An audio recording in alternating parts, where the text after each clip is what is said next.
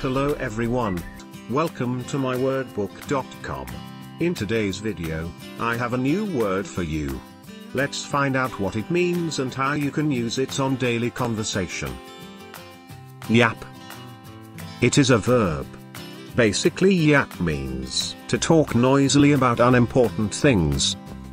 Let's take few examples of yap. Example 1. The puppy gave a yap. Example 2. I just wish Rob would keep his yap shut. Example 3. His mother yapped at him for staying away so long. Example 4. They heard a yap and run out of the room. Example 5. The guy just loves to yap. That is the end of today's video. Kindly share your suggestions on comment box below.